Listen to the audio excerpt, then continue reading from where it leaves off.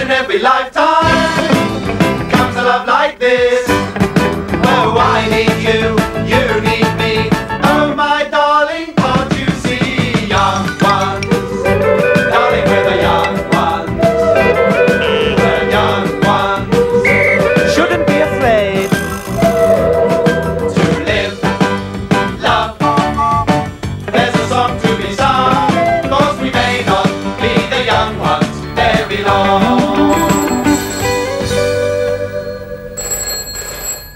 Ask me, is about as clever as going to the toilet without taking your trousers down.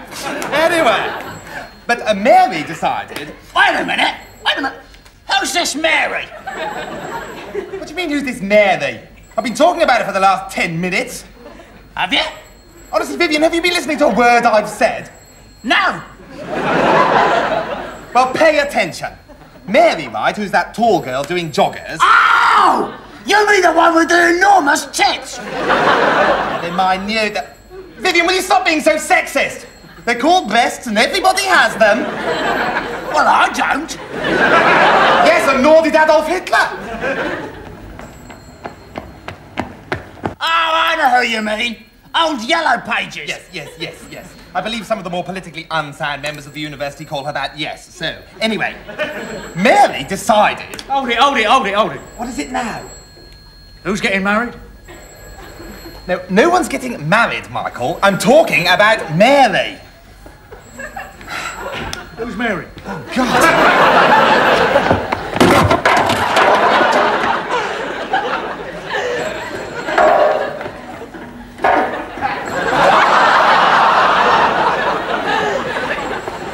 well, I still don't see why that means they should call her Yellow Pages. Look, I'm telling you, Michael, because when she gets drunk at parties. Vyvyan, please. Will you both please try and grow up and pay attention? It's my story, it's bloody amusing. Honestly, I don't know why I bother sometimes. I don't know why you bother ever. Right. anyway, Mary decided not to go to the party for the obvious reason. Are we invited? What? To the party, the wedding. No!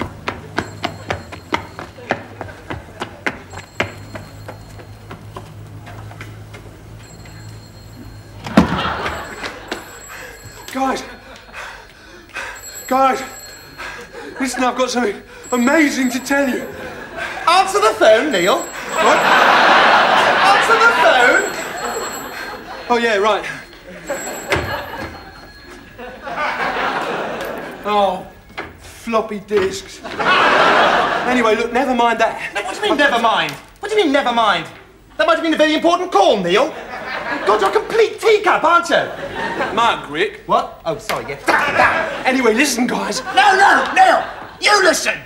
I've been waiting here half an hour. Half a bloody hour, Neil. Being hungry, waiting for my tea and listening to that bogey bum. Oh, and that's my fault, is it? Oh, yeah, it's always my fault. Why didn't you cook your own tea, Vyvyan? Because I do not cook the tea, Neil. You do. That's what we agreed when we first came. You do the cooking, I'll look after the plants and the goldfish. Yeah. And what did you make me cook on that first day? Uh, sausages, it was a Tuesday. Yeah. Sausages and. Sausages and plants and goldfish. Look, I've discharged my responsibilities, Neil. Now you discharge yours. Hey, Mike, that sounds like a cue for a really dirty joke, doesn't it? Shut up, Rick.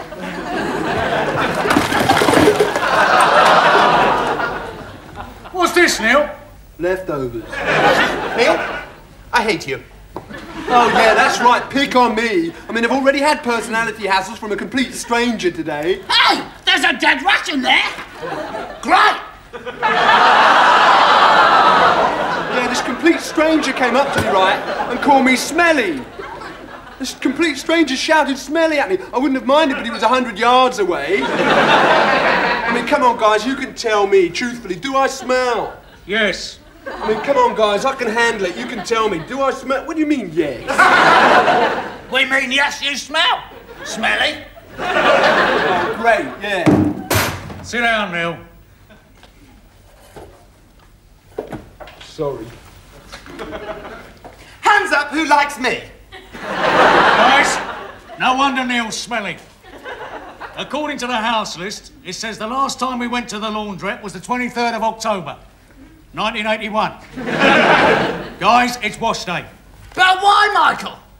I myself have three pairs of socks and three pairs of knickers. That means I've only worn them 269 times each since the last wash. I said hands up. Who likes... Rick, we heard what you said. Now, guys, brace yourselves. There's no avoiding this, and I'm not talking about my chopper. We are going to the laundrette. Oh, no, please. Not a laundrette. Why don't you like me? Because you're a complete bastard. Vyvyan, I'm being serious. So am I. You're a complete bastard and we all hate you. I find that rather difficult to believe. Do you want to bet on it? I'll put down a fiver. Yeah, me too. You can count me in as well. Uh, yeah, yeah, no, no, uh, I don't bet. Coward. Yeah, yellow chicken. All right, all right, I'm not scared. Right then, a fiver. Oh, I haven't got any money. What about that tenner I lent you this morning for your sister's operation? You haven't got a sister, Rick. You're the classic example of an only child. All right, all right, are we going to bet or are we going to piffle around all night? There's a tenner. Quiet, everybody. The bet's on. Right. Hands up who likes me. Damn! Right, that's it. I'm going to kill myself. Then you'll be sorry. No, we won't. Does anybody want the last chickpea? I didn't even want the first one. I feel sorry for you, you zeros. Well, you know but this. What's going to live on after you die? I'll tell you. Nothing. That's what.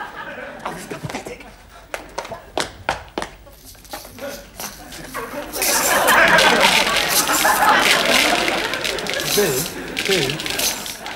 like, can you, like, actually kill yourself with laxative pills? I don't know, Neil, but I'm going to stay and find out. I think I'm going up to my room for a bit. This house will become a shrine. And punks and skins and rastas will all gather round and hold their hands in sorrow for their fallen leader. And all the grown-ups will say, but why are the kids crying? And the kids will say, haven't you heard? Rick is dead. The people's poet is dead. And then one particularly sensitive and articulate teenager will say, other kids, do you understand nothing? How can Rick be dead when we still have his poems? And another kid will say,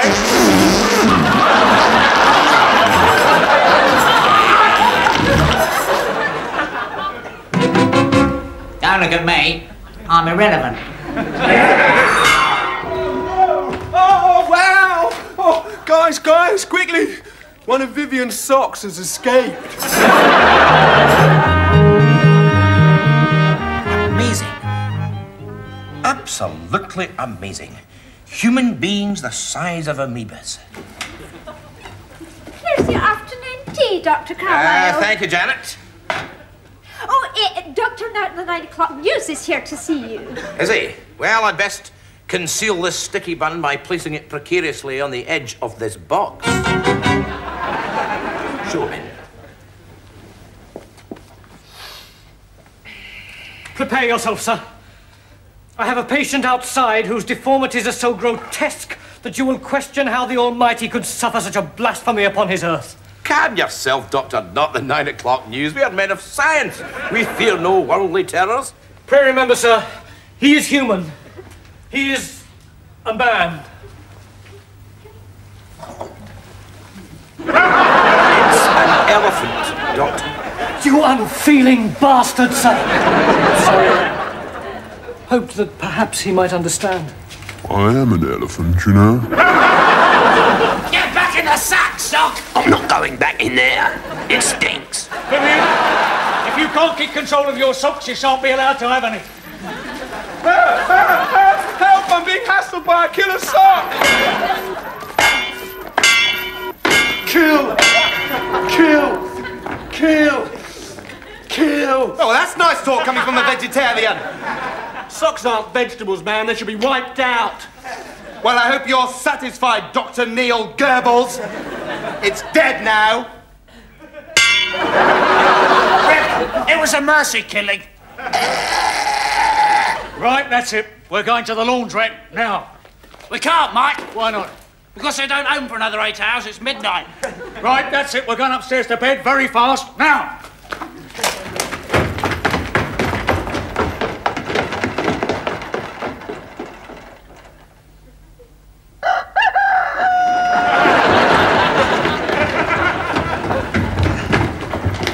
Ah, Marty! Completely brilliant! Right, let's go to the laundrette. So it's completely brilliant. And now we've all got to go to the laundrette just because Vyvyan says so. God, living in Nazi Germany. Neil, I hate you. Oh, well. Don't bring me down and hassle me, Rick. I'm really confused. I'm just not feeling myself today. You could do a really good joke, couldn't you, about feelings? Shut up, or I'll kill you! Okay, guys, come on. As the one guy said to the other guy who was getting fed up, I'm getting fed up. I want to wash my smalls, and I don't mean dip my tiddlies in a glass of water. Let's go. Right, and take that stupid girly bonnet off. Right, let's go. God, that was quick.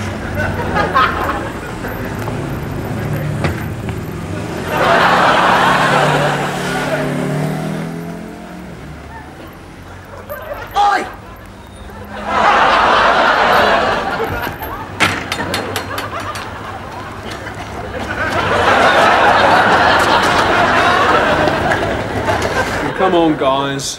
Like, the sooner we start, like, the sooner we finish. they said that about the, uh, something that took a long time to finish, didn't they? I hate these places. They're so depressing. You know, Michael, I would rather go to a lecture than a laundrette. Oh, come on, Vyvyan. Don't exaggerate. Hey, I know a joke about that as well. Listen, pay attention to me.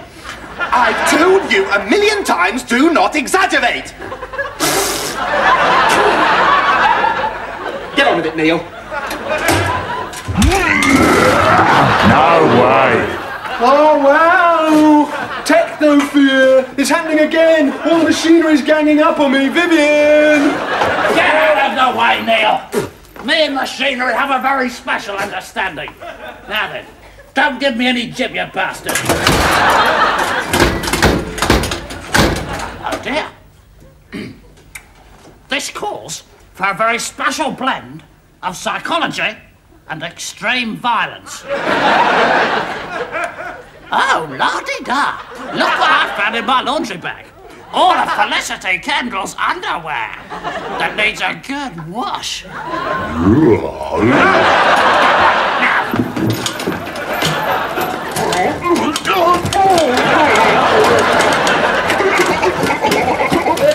Right, shut the door!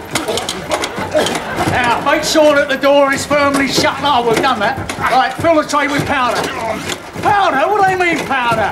Gunpowder? Curry powder? Cocaine? I mean, what's on their minds? And maybe they mean washing powder, Mike. Um, oh, look, maybe if we got all the horrid sludgy bits out of the other machines, we could get enough. There, Neil, you carry on. Right, if you require conditioner, well, do we? No, no, Mike, that's just for people washing their hair. Oh, we don't want to go mad. Right, insert two 50 pence pieces. Come on, guys, I don't think we should let this experience bring us down. I mean, what's so wrong with dirty clothes anyway? Yeah. You know what they say? Dirty pants, clean body. Dirty duvet, dirty mind. Yeah, my knickers are so old, it's only the stubborn understains that are holding them together. Yeah. Right on. One thing's for sure. When Lenin led the revolution in Russia, no way did he do it with a spotless bot. Yeah! I love my bottom spotted! Yeah! Yeah, yeah, let, let's never wash our clothes again. Yeah. What do you mean again? But yeah, yeah, we could be like the dirtiest students in the whole world. Yeah. Hey, hey, now there's a challenge. Oh! Oh, wow! Yeah! Oh, I just remembered what it was I had to tell you. Oh no, what's the time? Oh, Viv, here's your chance. Right, I see the big hand there. right, that's on the two, right? Yeah. Now, the little hand is on that one there, just before the 12. Now, what's that one? Eleven? Perfectly excellent. So, what's the time? Uh, half past five! that means we've got exactly two minutes to get to the station. Oh, cock-a-doodle-doo, Neil. what are you talking about? We've been picked, right, to go on University Challenge tonight. To the station! Music!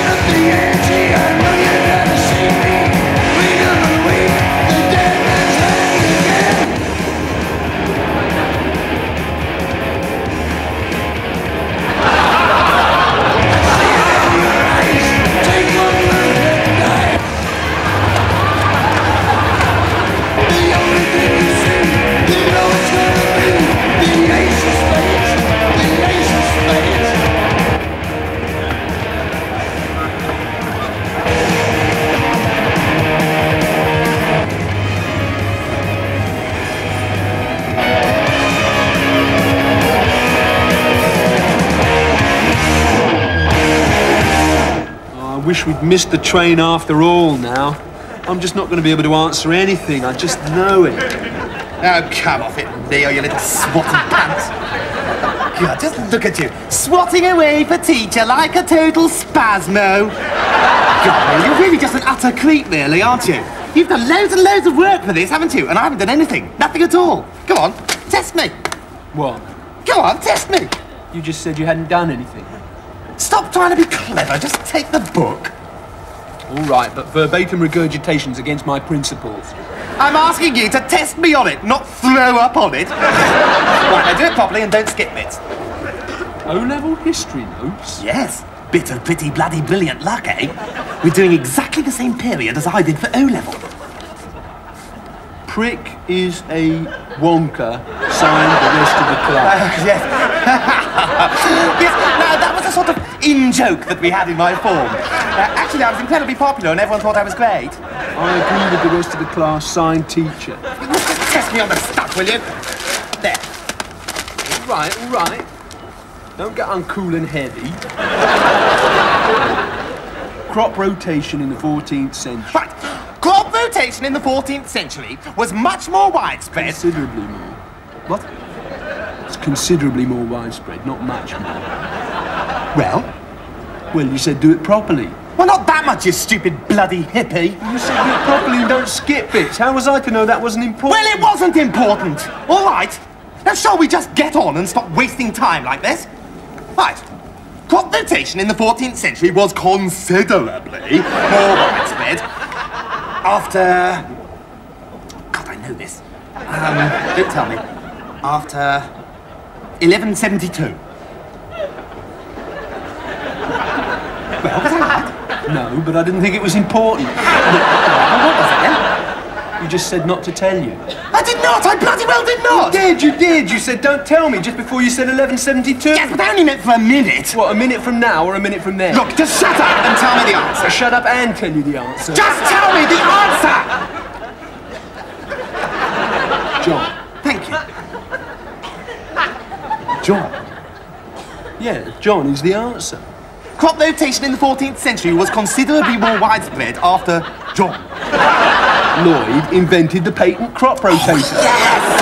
I knew it! I bloody knew it! You it! didn't, you didn't. You said 1172. That's not a bit like John. You little bastard, Neil! Just because you've done loads and loads of work for this, just because you're a creepy little swat, you've done about 50 million tons worth of work, just like a girl, and just because I'm so hard and straight and cool, that I've done absolutely bugger all, and you've done loads, look at it! Loads and loads! Loads and loads and loads! Loads and loads and loads! Loads and loads! Loads and loads! It's only University Challenge, Rick. It's only University Challenge.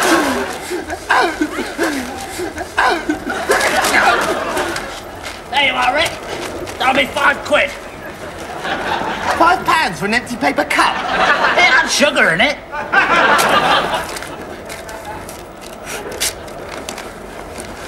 Who are we playing anyway, Neil? Footlights College Oxbridge. It's going to be really heavy and tough. Well, I've done my revision.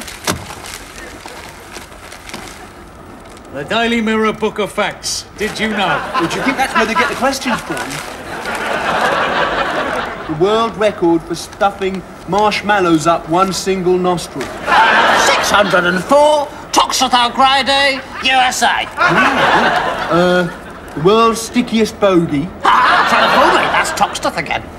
The world's stupidest bottom burp? Vyvyan Britton? Says Rick here. See, I've done my revision. I'm going off now to stuff loads and loads of paper down the toilet. I've often wondered who did that. Do not lean out of the window. I wonder why.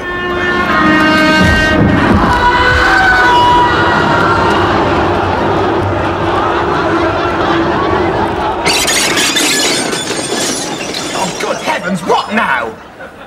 Somebody must have pulled a communication cord. Well, well, it wasn't me, matey. If British Rail want £50, they can just about blooming well go out and become a prostitute. Which they virtually are anyway, come to think of it. Right, commuters? Oh, we'll never get there on time now. Relax, Neil. Bambi's a personal friend. I introduced him to Walt Disney. Over here. Over here. Hurry up about it, will you?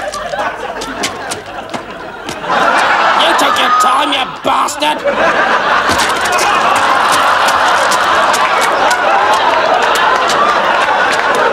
Come on, come on, get the thing started! Come. Excuses this time. Suppose they'll be telling us they've been held up by Mexican bandits. This is a patter moustache, isn't it, eh? He's Mexican, wasn't he, eh? Funny, isn't it, really, you know, Zapata? He starts out as a peasant revolutionary and ends up as a kind of moustache. Che Guevara, he was another one. South American revolutionary, ends up as a sort of boutique. Garibaldi, Italian revolutionary, ends up as a kind of biscuit. Actually, it's quite interesting, you know, the number of biscuits that are actually named after revolutionaries. You've got your Garibaldi, of course, you've got your Bourbon, and then, of course, you've got your Peek Frean and Trotsky assortment. Revolutionary biscuits of Italy, rise up out of your box. You have nothing to lose but your wafers. Yum, yum, yum, yum, yum. I never really wanted to be a train driver, you know. I mean, they told me when I left school, if I got two CSEs, when I left school, I'd be head of British Steel. That's a load of nonsense, isn't it, eh? I mean, you look at the statistics, right? 83% of top British management have been to a public school in Oxbridge, right? 93% of the BBC have been to a public school in Oxbridge, right?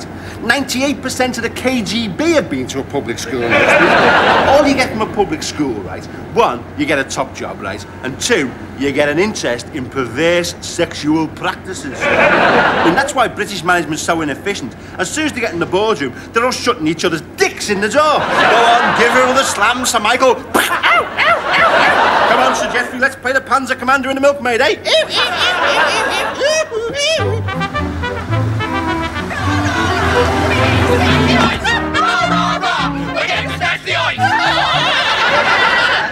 You know, it's a rotten shame. I went to see the careers officer in Big College yesterday, and he said that all he got left was chairman of British Rail. Well, I wanted to be Director General of the BBC. Yes, it's rotten. They gave it to Scapper just because he directed our world tour of Hamlet mm. and wrote our hilarious review, What Ho Dark. Ah! Honestly, chairman of a nationalised industry, I'd rather be a cabinet minister. Ah! Well, I'm all right because my daddy's bought me the Socialist Workers' Party for my birthday. Ah! At least we're going to smash the oinks at Scumbag College mm. University Challenge. Yes, we've just got time before my balls drop.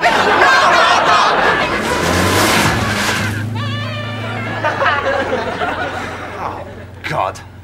If you hadn't pulled that communication cord, Vyvyan, that man would never have thrown us off the train. Rick, he threw us off the train because you said ASLEF was an anagram for total and complete bastard. It's quite apart from anything else. It isn't, even. Oh, shut up, Neil. If you hadn't been born at all, then we wouldn't even be here. Because there'd only be three of us. And three isn't enough to go on University Challenge, so it's your fault. Relax, Neil. He's a personal friend. I helped him get the Babycham commercial. Really? Oh, wow. Do you think they really do make it out of babies? Oh, bloody hell! It must be 200 miles to Manchester, and I bet we've got to walk the whole blowing way. What are you talking about, Rick? I'm the greatest hitchhiker in the galaxy. See, told you so. Evening officer, University Challenge, Scumbag College. Here, hang on, hang on. You were supposed to be here two weeks ago. Yeah, well, we had to walk the last 200 miles. Didn't you get our message? Neil, why didn't you phone our message? We did get a message, yes. Beep, beep, beep. Oh no, heavy. The coins keep coming out. Beep, beep, beep. Even the telephone hates me. Beep, beep, beep. I wish there were no machines and everybody led a pastoral existence. Trees and flowers don't deliberately cool you out and go beep in your ear. Yeah, that's the message. Didn't you get it? Yeah, that was on the 24th. Here, hang on. What's that? It's my mascot. A pig? No. It is? It's not, it's a ferret. It's a severely deformed ferret, I'll grant you that. So severely deformed, in fact, that it looks a little bit like a pig. Looks exactly like a pig. Yes! Well, it certainly has been remarked upon. In fact, just as John Hurt is known as the elephant man, bacon sandwich here is known as the pig ferret. Bacon sandwich? Funny name for a ferret, isn't it? Aha! And that's why I had you fooled because it's not a ferret, it's a pig. Well done, Viv. You certainly got him there. Yeah. Have you had enough, Nazi? Or do you want some more? Morning, Mr. Gascoigne. Scumbag College? Yeah, so you finally made it. Bambi, Bambi, my main man. So good to see you. Looking good. Oh, boy, you lost a lot of fur since we last met, and you're walking on two legs now, I see, but still the same old Bambi. Shut up, Liz. Shut up. What's the matter? I'm sorry, everybody. I'm I'm sorry, Bambi. I'm just like remembering that bit when you got lost in the snow and the rabbit found you. It was so beautiful. Yeah, I like the bit where you shoved a drill in the Virgin Otter's face. It wasn't in Bambi, Vyvyan. It was in the sequel, Neil. Bambi goes crazy eight bonkers with his drill and sex. Is that true, Bambi? Did you do a Disney nasty? So what if I did? I'm not apologising. My life collapsed after Bambi. I was a lovable fool, all right? Unusable for anything else. I, I did the Babycham stuff, sure, thanks to Mikey, but I was finished. When the porn Bambi came along, I thought, well, this is where I get something back. If it hadn't been for the chance to present University Challenge and start a new life, I'd be giving executive relief to woodland creatures to this very day. well, you going to let us win? No, of course not. The posh kids win. They always do.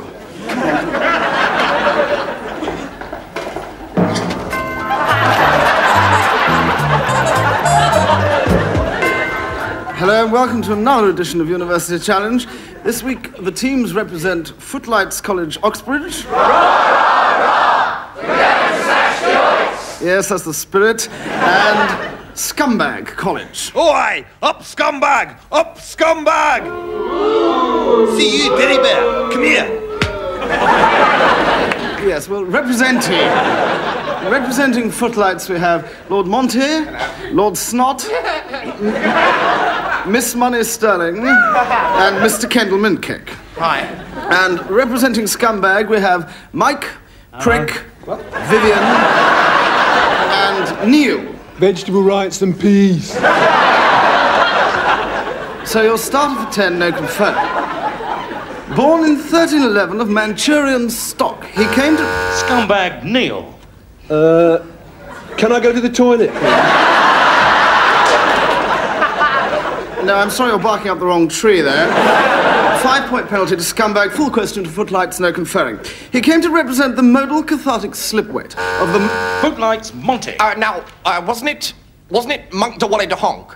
Yes, well, you're almost there. Can you give me any more? Certainly. Will fifty pounds do? Absolutely spot on. Well done, footlights, ten points. And three bonus questions to you. What was the name of Battle the. of Bannockburn. Yes, well, that's very well anticipated there. Battle of Bannockburn it is. Buzz, buzz, buzz.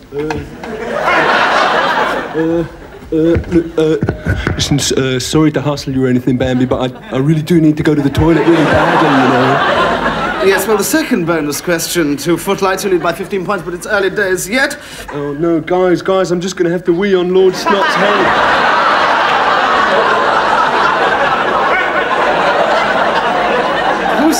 Who said, who said, Lorks a lordy, my bottom's on fire? Lenin! Yes, well, I can accept that the exact answer is Joan of Arc. Well done, footlights. Five points. And what is the chemical equation? for- I've got a Porsche. Yes, well, that's not exactly what I've got written on the card, but I knew your father, so footlights lead by 25. Daddy sends hugs. so, start of 10, fingers on the buzzers. Who is the richest person in the world? Scumbag Vyvyan. What? We're getting thrashed! We're getting completely thrashed! Isn't there some way we can cheat? Guys, guys, look, it's, it's beginning to seep out, oh, guys, please. It's very simple, Neil. Use the jug. No, I'll have to hurry you. I'll have to hurry you. Who is the richest person in the world? Footlights Snot. It's, it's me, isn't it? No, I'm afraid not. Your father's multinational collapsed only this morning. Oh. So, so with the score, with the score still standing at 25 to nothing, here goes. I'm completely bloody sick of this! Give us some easy ones, Bambi! You big bottom boil! Relax, we can handle this. Vyvyan. Achtung! It's not an automatic.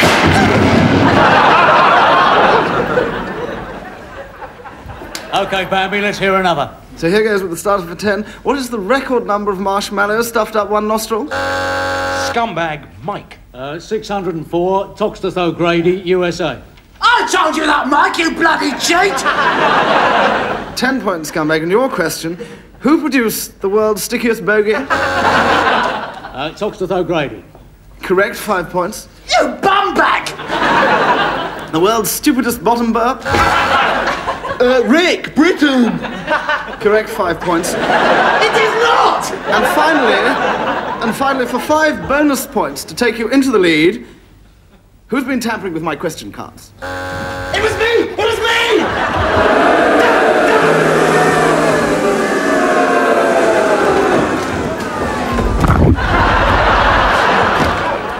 No, this sticky bun's covered with human beings the size of amoebas. Here, Jumbo, get that down your esophagus. There you go. Anyway, as I was saying, it's a rather interesting theory. Have you tried this new high fiber diet? Yes, I tried that. I lost a ton, but I put it straight back on